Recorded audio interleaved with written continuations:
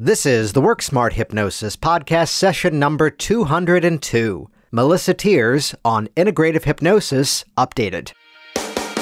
Welcome to the Work Smart Hypnosis podcast with Jason Linett, your professional resource for hypnosis training and outstanding business success. Here's your host, Jason Linett. Welcome back to the program. It's Jason Linett. And first things first, thank you to everybody for the incredible outpouring of support in the launching of my book, Work Smart Business, which to find out more about that, of course, just simply head over to worksmartbusiness.com. In the early days, we hit uh, number one in the entire business category. Reviews well over about five dozen or so at this point and continuing to grow. Thank you so much. And clearly, just to call out, of course, yes, that project is also about about helping to advance my career, but in part, I did write it with the mindset as a bit of an underlying theme to help advance the careers of many hypnotists around the world. That I often would hear people asking about some of the work they've seen me doing working with executive clients or taking these messages out to different, more professional communities. So, really, not just for my benefit, if you've got clients that are kind of stuck on business themes, sharing that book with them is actually something that helps to validate the work that you're already doing. Speaking of validating the work we're already doing, I've been wanting to have Melissa Tiers back on the program for quite some time. She was guest number 60 on the program back on uh, back around May 2016, and just over the years of hanging out at various conventions and different workshops, there's certain themes that we've been talking about that the running gag kind of became. Uh, okay, when you're on the program next time, we're going to talk about the memory reconsolidation. When you're on next time,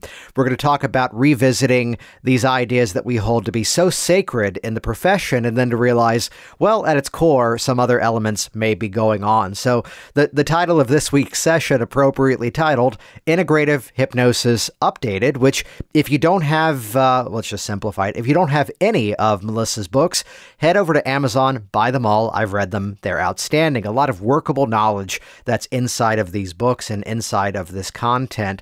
And we're going to hit themes in terms of resolving some of the uh, sort of inner wars that are currently going on in different schools of the hypnotic profession, with a lovely West Side Story reference in the middle for those that can pick it up, but also getting into the application of curiosity, the value of it in terms of how we work with our clients, getting into the mindsets of how we better serve our clients and listen, and to look at that sort of minimal project, that minimal product that we can deliver to our clients as well as our students. So, not just the mindset of have delivering less, but instead highlighting if all you did was make use of this one element, here's what you could create. And by doing so in that way, it really helps to empower that client in a much better way, in a much more empowering landscape. So, check out this incredible conversation. Go back and listen to the first one if you haven't yet heard it, though um, I've sat through both of them. This one does stand alone on its own.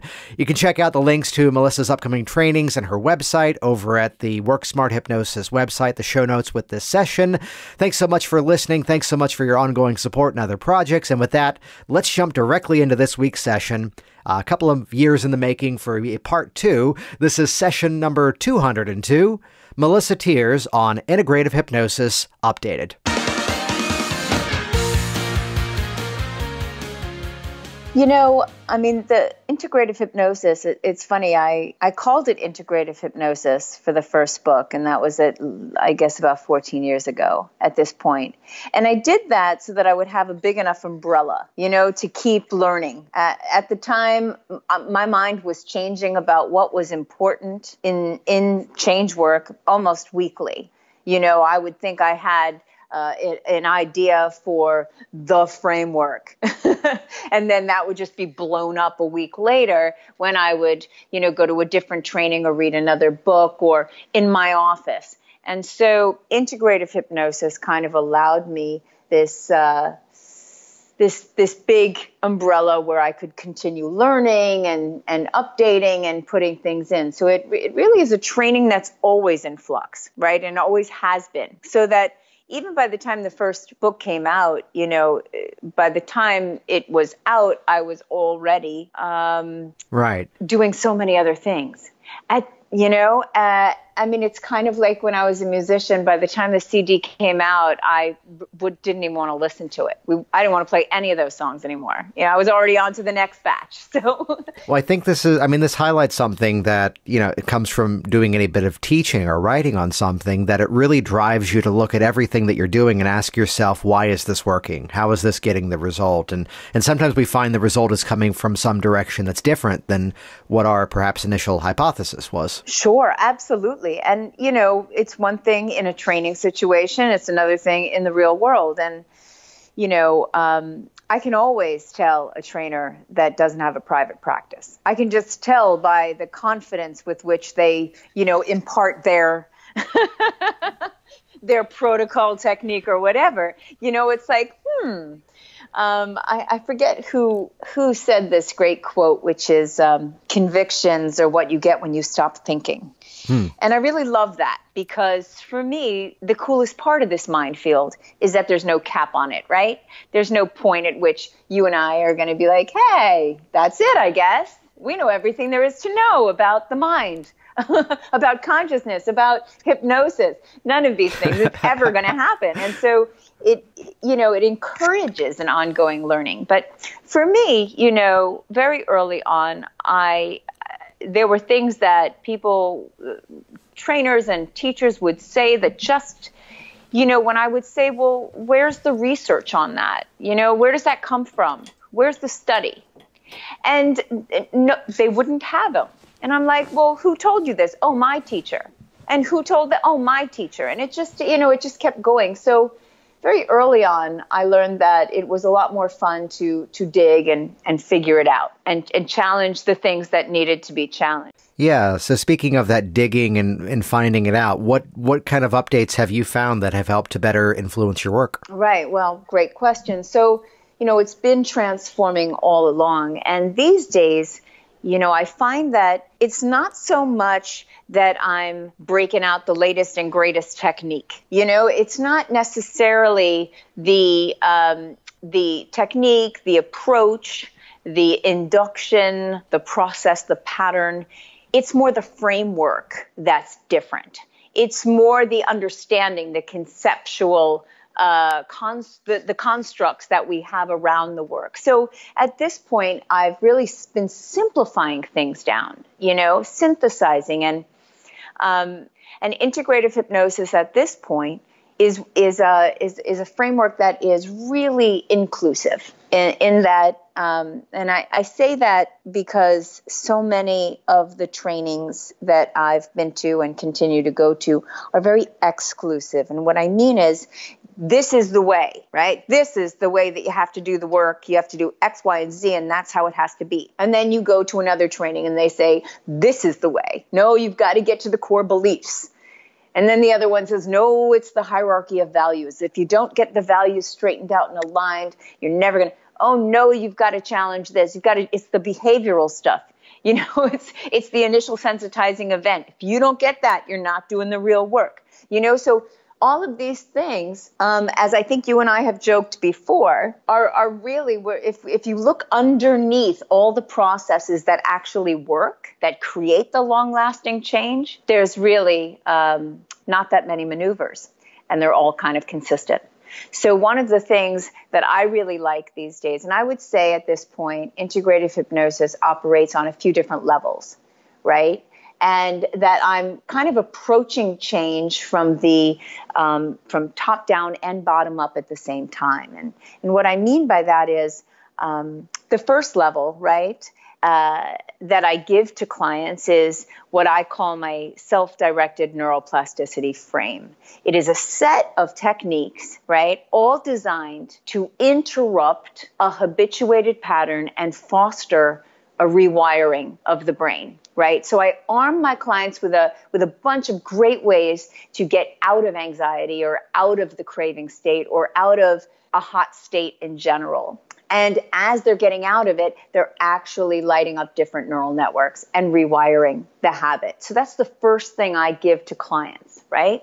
The second level of work is is really going through with a client to neutralize some of the triggers involved. And and this this we, we bring in the other form of neuroplasticity, which is so so self-directed neuroplasticity as I frame it is considered to be a counteractive form. You're creating these counter pathways. The second level of neuroplasticity is where we're using um, therapeutic memory reconsolidation to actually rewrite um, sometimes very early implicit uh, emotional memories. And when we do that kind of work, that's when we get that really that transformative in one go aha. And I, I think you and I have had a conversation already about this, but just in case um, yeah, I love the theme that we've we've chatted before. That at its core is there's often the sharks versus jets mindset sometimes in the hypnotic profession of this technique, no my technique. Right. But at its core, that that therapeutic memory reconsolidation kind of is the basis of practically everything out there. Exactly. That that's what's happening, and you know, I think um, so when I was first really looking into what was going on in the brain when clients made changes, right, and and and how to use that, and I um, I, I read the first book by Dr. Jeffrey Schwartz, and it rocked my world, and I don't even know how many years ago it was um, where I started to think, oh my God, this might be what's happening when we do the repetitive kind of conditioning, right? The Hebbian law of neurons that fire together, wire together. And when we have our clients do the homework, you know, and and and do the post hypnotic triggers repeatedly, that this is what's happening. It's basically conditioning, right? Stimulus response. But what was happening when clients would have that one session and in five minutes their phobia would be gone? Like, what mm-hmm. the hell was going on in the brain? And that's when I started to dig a little deeper. Wait, you're saying you say you didn't condition it over 30 days of listening to the same audio three times a day? right. And make sure that audio is 45 minutes long. Um, right. So no, so so that was my question way back when, right? I don't understand. Hebbian law is not applying here. When I do this weird tapping technique and all of a sudden the phobia is gone, what the fuck is happening? Right? When I do a fast phobia cure, the visual kinesthetic dissociation from NLP, and the phobia is gone, what's happening? When all of a sudden that traumatic memory that used to, you know, cause people to freeze is no longer happening because I did some re-imprinting or regression to cause or any of these techniques. I wanted to know how it was it was workable. How was it happening in the brain? And that's where therapeutic memory reconsolidation was a a, a, a true aha. I mean, I've been teaching for the past few years that this is where the revolution is going to happen in change work. Once this really trickles down in a major way from, from the laboratory to the clinician's office, that is when you know the whole entire field of talk therapy psychotherapy is going to be kind of turned on its head or at least that's my wish you know it's already starting to happen um, bruce ecker wrote a book uh, on on this he's written a couple of great articles that are trying to really bridge the the gap between uh, neuroscientists and uh, psychotherapists. And I think it was a, a, crucial element. And to map the therapeutic memory consolidation, the, the vital steps, which I condition into my students from day one. You know, everything, it, it's just, it's repeated you know, to the point where they they do this in their sleep. because to me it's the game changer. And in the same way that we can say all of these different approaches are doing the um, memory reconsolidation. There's other uh, forms of change work that still get great results that are not following the four steps and this is where, you know, what did you say, the Sharks versus the Jets? This is where this other piece comes in that I that I feel is vital for for for you know bringing the field together in general, which is if you think about um, basic problems as as being neural networks, right, and that these neural networks they might start from a very young age, priming us emotionally um, you know, and and we build upon neural networks, right? So I don't want to go too crazy into this, except to say what that means is whether you come at this from the I've got to get the core uh, beliefs, or whether you get the behavior, or whether you get the uh, implicit emotional memory, or whether you get the values, or whether you get the, you know, the the, the cognitive. Um, you know challenges in cognitive behavioral therapy what you're actually doing is affecting the same neural network that trickles down there's faster ways to work you know and there's ways of doing a massive update which is why i always hit the memory reconsolidation one pretty hard because that is where you get that massive update and everything shifts. The ideas the beliefs the values everything has a massive update once you you know know those. So so to get back to you know integrative hypnosis let me let me pause you there because I'll throw in a little bit of a metaphor here that I think helps to really solidify this. That the benefit becomes is that yes, we can sit back, I'd say, and let's call it out, be smug to go, oh, here's what we're actually doing but to also recognize here's the why that's behind it. Here's the sort of mechanism that's making this thing effective. And the, the completely out of nowhere metaphor to throw at you is that uh, in terms of fitness, there are two types of science. Uh, there is regular science, which is what we call science, but there's also a category called bro science, which are the guys in the gym who are just repeating things they read in a muscle and fitness magazine or they saw online and go, no, no, no, you have to eat it this way. You have to eat it, you know, lift that way. And one of the things in this category is this little phenomenon that pops up called the mind muscle connection, where the premise is that if you're thinking about the group of muscles when you're exercising them, they are activating even more. Which the real science on that is um, maybe, but let's look at this sort of uh, you know sort of skeptically for a moment. If you're thinking about the group of muscles, chances are you're actually using better form than you would have been if you were engaging in conversation, watching something on the television at the gym, or just focused on who knows what else. So by actually thinking about the group of muscles, you're forcing yourself to think about the form. And by doing so, that's going to produce a better result anyway. So this is what I, I love about this because it's helping us to realize inside of the technique that yes, sometimes there is that best practices mechanism that, well, put the technique in this order because here's what that's going to provide, or do it this way so you can see the problem state and now know what to test later on. But at its core, this highlighting on the therapeutic memory reconsolidation, it's helping us to shine that spotlight on where the change is occurring, what's happening beneath it, to know that, okay, this may be, let's call it out, this segment may just be dressing around the process, but here's where the work is actually happening. Well, and, and, and let, let me stop there because I think this is a, a, a crucial thing. Um, for me, constantly teaching the structure underneath the patterns and processes right with with this. And and there are certain elements that if you don't actually light up the neural network involved you're not going to get that kind of change. It just won't happen and that's well, I mean that's know, that importance of actually right. getting that problem state up right. as the process so, begins. So t- too often, you know, um, people go to a hypnotist and you know they they have someone talk about their problem and then they go into a nice hypnotic state and the hypnotist tells them everything they want to hear. They're going to be feeling confident. They're going to be feeling this. They're going to be feeling that,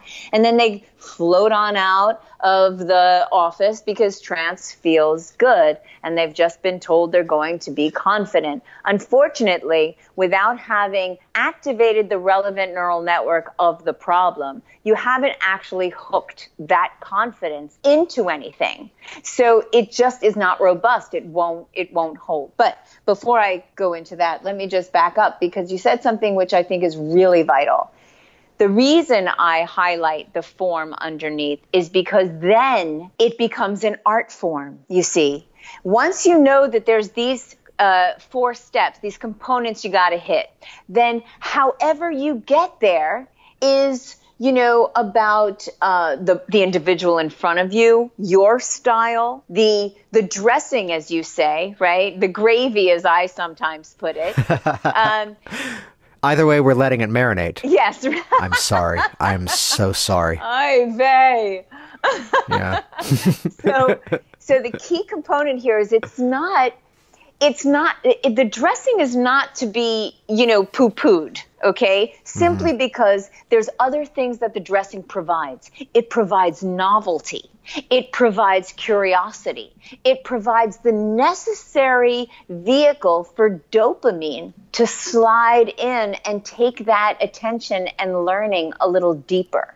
So, you know, that's why we bring in the new techniques. That's why we bring in and foster curiosity. Because when you get your clients curious, you're locking in attention, you've got the dopamine flowing, and everything is going to go in a little smoother, right? It is the juice by which the brain locks in memory. And so, you know, when I teach this, a lot of times my students will be like, well, then why do we have to? Why did you teach us, you know, 10 other ways to do this? We could just do this one.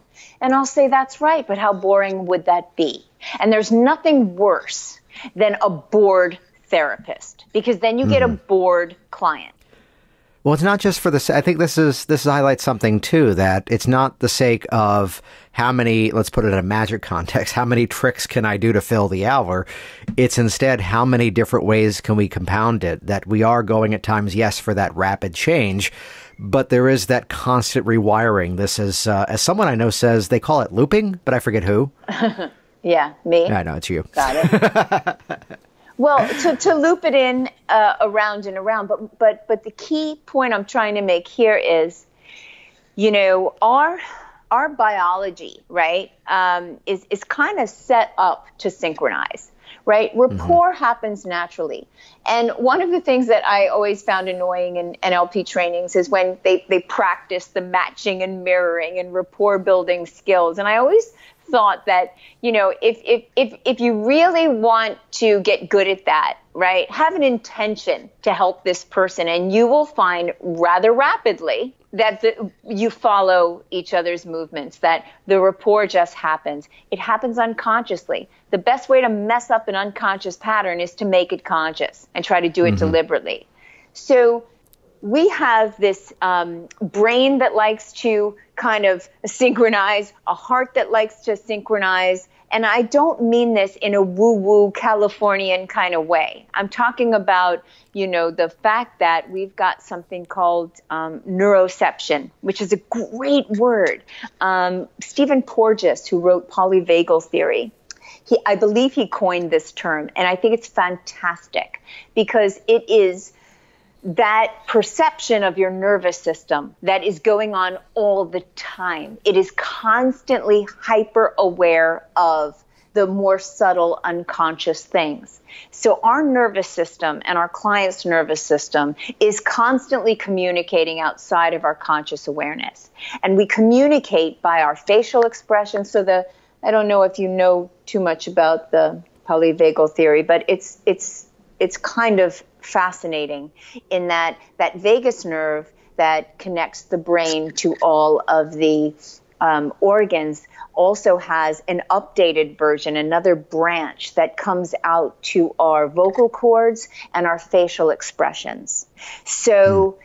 it's kind of you can think of it as the the evolution of our nervous system, right? That in, in humans, this is how we are signaling to each other if there's danger or not. And I, I, when I first read that, I couldn't believe it because it, it explains so much, right? The traumatized person with the flat uh, facial muscles, the monotone voice. And then when you think about it and you think about um, horror movies, what are the scariest moments of a horror movie you know? It's it's it's the it's the psychopath with the flat affect. It's the twins in the shining. With no with that flat facial expression. And then i think of the old school hypnotists in the monotone voice who are yeah, getting yeah. sleepy and how fucking terrifying that is for our nervous system. Literally our nervous system when it hears that it, it, it perks up and our body is sensing danger. And most of the time, we're not aware of that. We just know that we don't quite feel comfortable here or something, but we don't, most of it is an uncomfortableness of the nervous system, which uh, limits you know, the, the, the prefrontal cortex from really fully being online. But anyway, I'm, I'm, I'm, so these are the things I'm excited about. How do we utilize, yeah, how do we utilize all of this stuff to become more aware of the influence? So when I say about the dressing, just to close this loop, and how vital it is to have that gravy. I mean, well, you, you and I both know you can have a tasteless meal, and who the fuck wants to eat that, right? So we need that because of so many other things. We need to get curious about each and every single client because that curiosity is contagious. We need to also have an intention, right, to help. We need to also be aware that our tonality, our prosody, our facial expression is communicating more than we ever realized. And it's not that we have to fake anything. You know, you're not going to go to an NLP training and then practice, you know, vocalization. You just have to have an intention to be present and helpful. And all that stuff kind of falls into the right place, you know? There's people that know every technique in the book, but boy, I would never want to be sitting in a in an office with them as my helper. You know what I mean? Why? What is it? Well, I think it's where there is that element of you know how the again back to the dressing back to the gravy back to however we let them marinate that there there is the framing of it which is just as important that to put it in to some of the context that I talk about we're still selling the process with the client in the chair. That yes they're already there yes they've already signed up yet we're now selling the value of the change we're selling the value of the technique and to use the word in a playful way. And to get to that excited place but also to to match and also recognize that hypnotic suggestions are not just words. It's the way that we can kind of turn the head in a confused way when we're going into that curious mindset rather than going, well, how does it feel? How does it feel? Which that becomes annoying as hell. Yes. Instead, to really be in the moment where we're suggesting that confusion by way of our tonality, by way of our facial expression, which is then telegraphing that they can't find that old fearful sensation either. And I think also that the selling of the change is is vital, which is why these days when I say I work from you know uh, top down and bottom up, uh, a lot of my work is is is kind of psychoeducation. You know, where I'm saying, look, look, because most of my clients at this point come by way of psychiatrists, right? I like the more mm-hmm. interesting clients uh, at this point. I have a center, I've got students, I can, you know, send uh, the easier cases to them. And so people come to me from their psychiatrist, which means they've already, you know, got a label, you know, pasted on their forehead and that they're starting to identify with.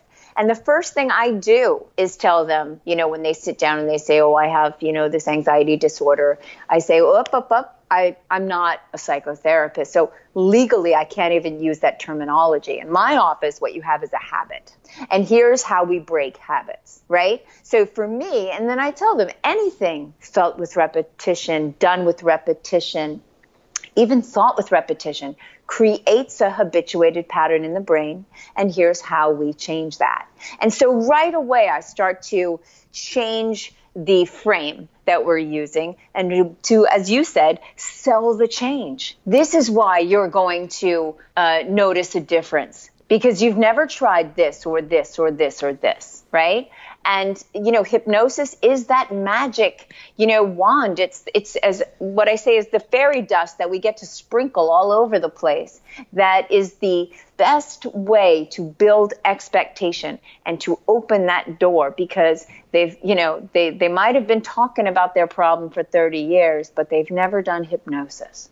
And even though you and i don't even know exactly what hypnosis is anymore um, the more we learn the more we're confused. We know it works and that's what counts here. We're still trying to figure out the mechanics of it all but well speaking of that a while ago you mentioned the idea of synthesizing the process down yeah. Uh, is there an example? Is there an example of that well, you can tell? so so so cooking it down to, as I said, the, the, the essential parts. And even though, you know, you and I agree that we don't kind of give scripts and we don't teach our students, you know, to read scripts to others, I do teach this, this, this underlying structure so that then every pattern that I teach is another way of doing it, right? Every pattern, I'll say, oh, and so this that you already do and love, this is where it fits in right? So I have the self directed neuroplasticity frame, that's the top frame, really. And then the therapeutic memory reconsolidation, where we are kind of neutralizing the, the triggers and as well as, you know, tracking back to the early primes that are still a cohesive part of that neural network that we call the problem, right?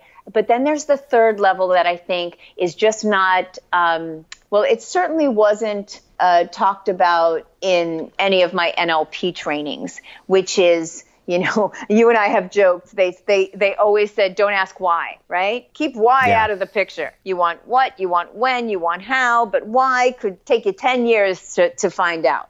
But I think by um, thinking that way, we are really forgetting the the biggest part of what makes us human, and that is our need to know why, our need to understand, our our our want of insight and clarity, and and a narrative to to kind of put around this, right? Which in, in itself can cause massive shifts, massive shifts right? There's people that are doing work that just challenge the reality of that person's reality and and and clients really do let go of their problems. So there's many different ways that we can encourage that that we can create a safe enough space where we can explore. We can use hypnosis to go into these more these deeper states where we can foster that kind of new narrative. And I think that is a the third level of my, you know, kind of multi-tiered approach. Um, sorry, that well, was. I think what's that important was as bad as your too. marinating joke, but. Aye, hey. Kind of like a joke, not just not funny. I know, right? the sideshow performer by the name of Todd Robbins, his catchphrase is, it's just like comedy.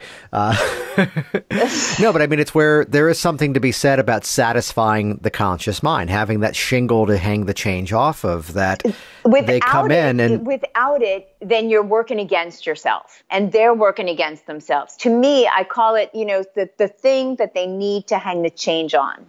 And that's why a little bit of neuroscience goes a long way because now they can be like, "Oh, it's it's it's a it's a neuro association in my brain. That's all. My brain was doing what my brain was designed to do, right? So now we're just changing the brain. And and people get that. I work a lot with teens as well and to give them this frame as opposed to the initial frame they were offered of of of a mental illness where there's no cure. Sorry, I can't stand that frame.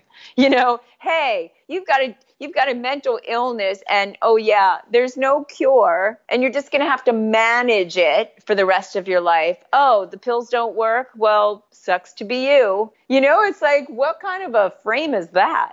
So, for me it's a big piece that conscious buy-in and I'm always hitting it. Well, it's where if we, even if it's the as if framework, that if we're operating from that perspective that this thing is stuck and it's not going to move, why are we here? As opposed to operating from the mindset that th- this was a dialogue that was popping up in a group. This question will pop up frequently in different hypnosis groups online about how do you not take on the client's problem? And my answer is if that's a problem, you're identifying with the wrong part of them. That's right. That what they're coming in with is the story that they're living out, but that story is not who they are. So the process is about disassociating out of that story and instead moving into that outcome. But I mean, it's where the person says, well, he has this issue. That means this. And I just no. kind of smile and say, if I work from that premise, there's no use for us to be here. Let's see what happens if we sort of bend that. Right, right. Absolutely. You know, um, in my trainings, right? So y- you and I both are, are hypnosis trainers, and there's there's something that I call the, you know, even if all you gave them was, right? Mm-hmm. And so Nice. So on the first day of class, right? Let's say it's an 8-day intensive. The first day of class, I teach them the neural the self-directed neuroplasticity frame, right? Here is a set of tools and techniques that if you give to you know this person with anxiety this person with a habit this person with this or this person with that if all you gave them was this you would be able to teach them to change their brain. Jeffrey Schwartz's yes. work pans that out. He works with severe OCD people, and when they they look at their brain just six weeks later, it looks entirely different, right? So if all you did was give them this, wouldn't that be worth the session with you? And then I build. If all you did was give them this self hypnosis template that, you know, every Olympic athlete knows at this point, if all you did was offer them that, isn't that worth doing? Isn't that, you know, something that someone would pay for? And then as the class goes on, so by the first day, they've got a, a, a good enough skill set and and I know this because there was a psychiatrist that came to my training a couple of years ago, and um, then uh, had a family crisis happen, and could only go to the first day. Where I teach a bunch of techniques and the self-directed neuroplasticity. I teach, you know, self-hypnosis. I teach them how to hypnotize and, you know, go into like uh, an exploratory trance, kind of like the mirroring hands kind of thing, and you know, for insight and clarity and that was all they had. But two years later, you know, I have a conversation with this person who was like, I can't tell you how, you know, how this has changed my practice. I've been, you know, using everything from that first day and it's changed everything. So I started to to to build my courses that way. So that, you know, if something happens and you can't come to class tomorrow, I've given you a good enough skill set where you can help most people with most yeah. things. Well, I think it's also too again back to the mindset of selling. It's telling the student that you know here's what you've got, and if you just simply put this to use, here are some of the results you can expect. Where my my version of that is if we were to stop right here, here's what you would know. Here's what you'd be able to customize for the individual, and even to play the game of okay, so if we did stop here and all you did was go off and let's say buy a script book, you now understand to look at that as if that was a transcript of one specific session, pull out the specific patterns of change, and now modify that to best fit the client. But but wait, there's more.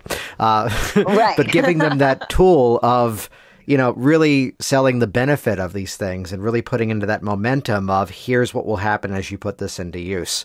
Um, I'd share my, my quick version of that was um, I was working, and this is not to say I'm necessarily better. It's just we all have sometimes these things that we need to reach out for someone else. I've gone to a hypnotist, and here was a uh, psychologist who came to me.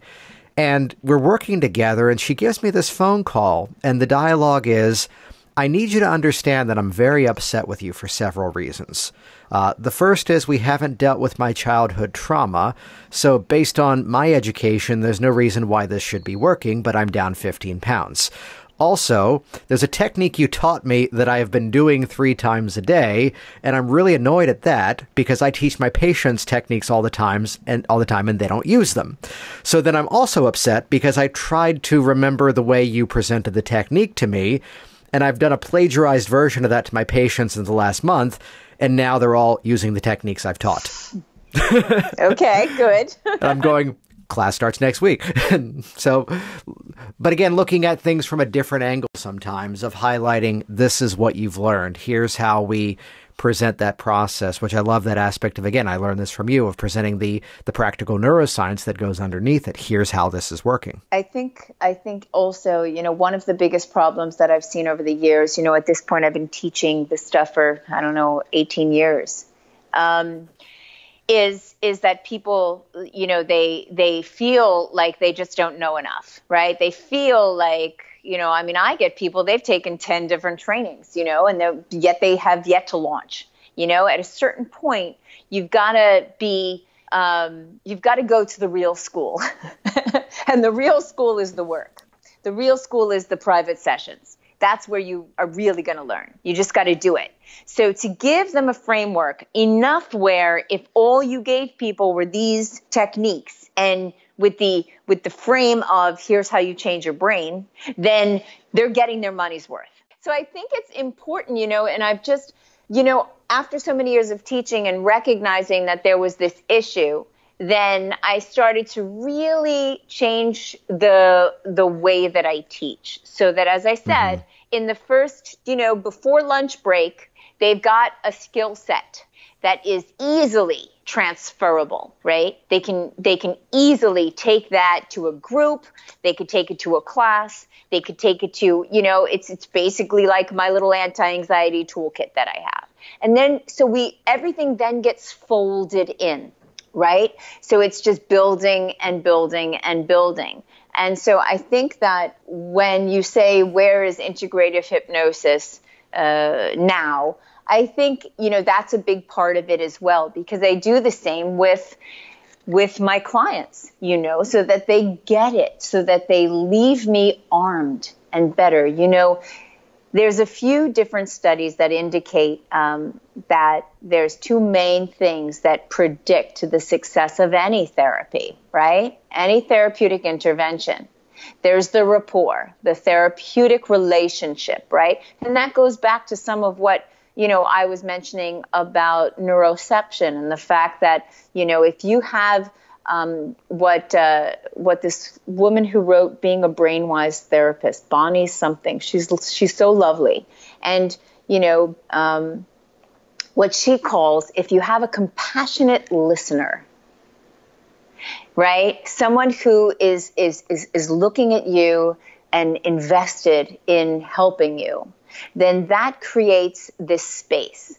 And that is what our nervous system is looking for. It's basically saying, Am I safe? And then a fraction of a second later, Am I safe? Am I safe? And so I think there's this alliance that we have to become more aware of, right? So I teach coaching the unconscious mind, and this is a big part of it.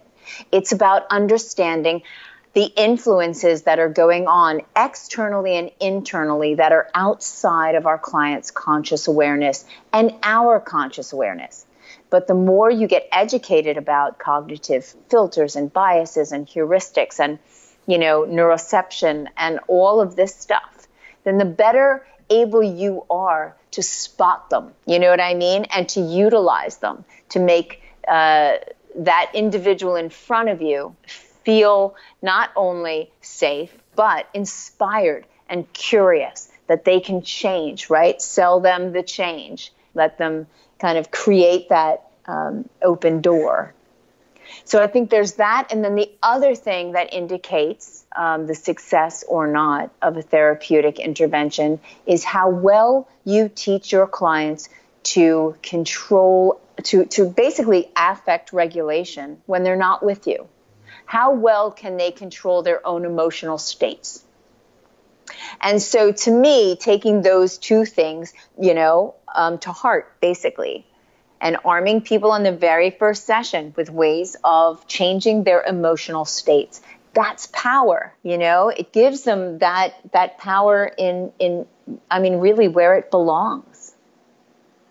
So another thing that that really um, changed the way that I practice was was kind of doing that was was um, letting go of the responsibility on some level for for my clients change. Now that doesn't mean it doesn't mean that i don't do my damnedest right to get the change in the office. But it also means that i am essentially a teacher and I'm not a therapist, so I'm a teacher. And I'm going to teach you, the client, how to change your own brain. I'm going to teach you how to go into hypnosis and start to be able to, you know, program in how you want to be and go into states where you can access um, some clarity, right? And so, you know, for instance, someone calls me and says, "Can you, can you make me quit smoking?" I say, "No, I cannot." here's what I can do. I can teach you five different ways to stop a craving. I can teach you hypnosis so you can go into a state where this is going to be easy. Beyond that, it's up to you because you can always still be stupid and smoke. You know, that, that too is an option. I'm not you know, and so so when I started to really change that, well, then everything became easier. You know, I can remember when I first started out being so nervous, like, oh my God, is it going to work? Like, what if it doesn't work? You know, after you hypnotize someone to quit smoking, oh my God, what if it doesn't work? I remember that. I hated that. I hated that feeling. Now it's like, it's not, is it going to work? It's, are they going to fucking work it? Well, I mean, it's to take the, the expectation of, you know, to live by the phrase that it can be a magical change, but it's not the tap the magic wand and that does it. It's that, you know, still you taking action is part of this, you moving things forward. So it's where if a client that I've worked with, you know, reaches back out to me to go, hey, I still need a little bit of help with this I'm happy to schedule them, but in the phone call, it's going to become what is it that you are willing to do differently? What is it that you are going to take action upon that's going to make this valuable for both of us? you know, because it's not just the game of taking your money again and playing the game of, right. well, is it going to work this time? Really, to just eradicate Let me do the, the same mindset exact of thing that didn't work for you before. right. It's to eradicate us out of the category of either worked or didn't work. Right. You can't return a hammer and say this one didn't work. Could I swap it out for Good. another one? But here's the other thing that Sorry that, for the metaphors. No worries. Never apologize I for know. metaphors. well, I'll take that back. Try me. I've heard some really horrible metaphors before. But what I did want to say is, you know, a lot of times when I say that, some people are like, but what about, you know, I mean, the expectation of the magic? I mean, isn't the expect, you keep teaching us that it's so much of this is all about expectation and belief. And now you're saying, so I always leave room for magic to happen. I always say, you know, look, I never know. A lot of people come in here, they do this and they do that. They have this one session and it's done. And they walk out of here, they feel great. That stuff is already in the past. They never even think about it. That's great. That might happen for you. But just in case it doesn't, here's the techniques you need. Right. So I always do some people, or you never know. And so I do want to leave that on the table as a possibility. But to get back to, you know, uh, the, the whole kind of updated thing and, and where are you at and what are you excited about. One of the other things that I didn't bring up yet was, you know, um, I told you it's it's always changing, and I'm always kind of uh, interested, and I like to you know learn more things and, and focus in and. Um, I would say last year, or the year before, it was all about, oh my God, therapeutic memory reconsolidation. Ah, it's been, you know. So now I've been really um, playing with different ways of fostering a bigger type of transformation, right? So by kind of looking at different ways of using hypnosis to foster that aha revelation, that transformation that happens in a massive way when people do some psychedelics, right? When they have that psychedelic experience that expands their model, expands their map to in a way that it just can't revert back. And so I've been exploring that as well as, you know, different ways of fostering and encouraging creativity by by stimulating or rather not stimulating the default mode network in the brain. You know, there's some current research that is saying that this is where creativity comes from. This is where problems get solved. And that's why nowadays the current thinking in even learning is, you know, uh, you know, study it 20 minutes, 30 minutes, get up and walk around. You know, do something else. Sleep on it. Go for a walk. When you start to look at all these great scientists and all these great creative thinkers, and when, you know, they interview them about their their favorite moments, their creative moments, it's while they're walking. It's while they're, you know, doing something else because that's when the default mode network comes into play. And they used to think it was just like the brain's kind of set point when you're not doing nothing. like they would have to, you know, um, deal with that in in studying any other feature of the brain. And they thought it was like a baseline.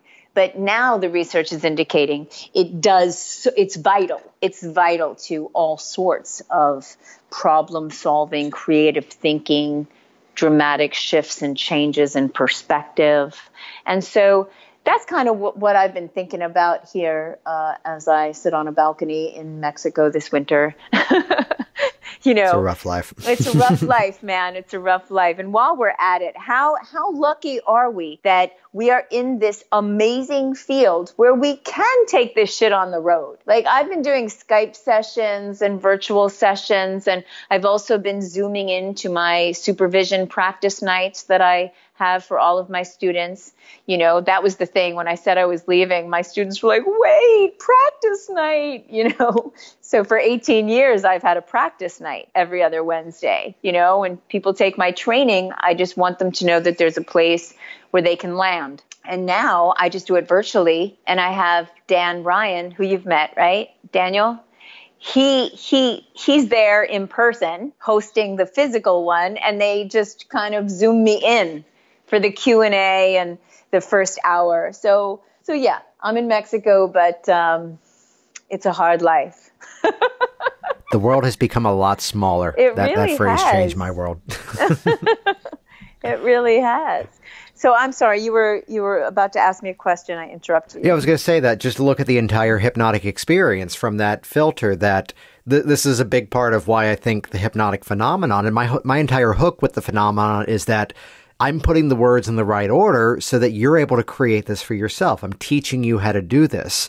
And the moment that they have that experience where they can't lift the hand off the chair or they're cracking up because they're counting their fingers and there's 11, which may seem usually to be like some sort of stage hypnosis stunt, it, it's breaking down that perception of reality. It's breaking down how real that thing was. And in many ways, um, two weeks ago in the program, Adam Eason was on and he talked about a similar thing around if you can do this, it's kind of on one part what you're already doing to be in the issue. And on the same side, here's how you're also going to move out of it. That it's not a it's not a habit you have to run anymore. Well, it it, it brings us back to uh, you know the the magic right? The magic of it. So so much of my work is is that more uptime kind of dynamic form of conversational um, hypnosis and change work. But i always always provide you know a little bit of magic. And that is that nice deep trance. That is the hypnotic phenomenon. You know, when I have a teenager whose hand is stuck to the table and they can't lift it, that gets their freaking attention really yeah. quickly. And all of a sudden, this becomes something else. This becomes something that could potentially work because, oh my God, I can't lift my leg or I can't lift my hand or you know, she's just made my mother not be able to speak. How cool is hypnosis? And that's what I need for that teenager because then they're going to play with it at home and then they're going to continue to get better. So I'm a big believer in hypnotic phenomenon because I think it adds that magic, you know, that tells people this is different. This is something different. But it also tells people, look at how amazing your mind is. Because one of the key things about me using these um, convincers and hypnotic phenomenon is I'm not the the hypnotist standing outside of hypnosis, you know, ordering someone to go in. I kind of jump in and I invite someone to come along, you know, and it's two very different um, ways of looking at it. But when I do a convincer, I always say, I want to show you how awesome your mind is. Look at how powerful your mind is. I want you to suggest. Just repeat, my hand is stuck right? So I turn it around and I make sure that they know that they are the ones creating this hypnotic phenomenon, not me. Beautiful. And I think it's a it's an important piece. Too many people in our field that you know it's all about ego and it's you know ridiculous because we're supposed to be empowering people. And without their active imagination and engagement, the shit ain't happening anyway. Nice. So, where can people find more? How can people uh, make this shit happen on their own? By learning it from you. um, it's all about reframing and matching and mirroring, right? yeah, right. Um, they can go to my website, melissatiers.com. Um, if they're on Facebook, they can friend me and like my Center for Integrative Hypnosis page, um, where I typically post things. I've got a, a course coming up in April, an eight day intensive, which is pretty kick ass in New York City, um, and one in September. And then I'm teaching at a few different conferences. Certainly, I'll be at um, HypnoThoughts Live in Vegas, and I'll be doing a, a three day integrative hypnosis 2.5 uh, pre conference, and then a one day on the psychobiology of chronic pain syndromes. My um, kind of ways of working with chronic conditions of all kinds, really, but pain especially. Um, and then I've got uh, a few other things coming up. I've got a in, in June. I'm doing um, a gig in Brussels, which I'm really excited about. Anything that's going to get me back to Bruges. I fell in love with Bruges this year, and I just want to go back. So I'll be in Brussels at the end of June, but they can find that out um, if they go to melissatiers.com and sign up for my newsletter. Jason Linett here once again, and as always, thank you so much for interacting with this program, for sharing it on your social media streams, leaving reviews online. And once again, check out Melissa's websites over at the show notes for this episode. And if you don't yet have a copy, the digital and the print copy is now available on Amazon. Head over to worksmartbusiness.com. You can actually request a little bit of a freebie preview over there, and that'll also link over to the Amazon pages in your own specific countries. It's a fun little nuance of uh, Amazon that every country has their own website. So just head to worksmartbusiness.com. The magic of the links will bring you to the right place to check out that book. I'm Jason Linett. You keep working smart. I've never said that as a closer, but uh, let's let's keep that up. Thanks for listening.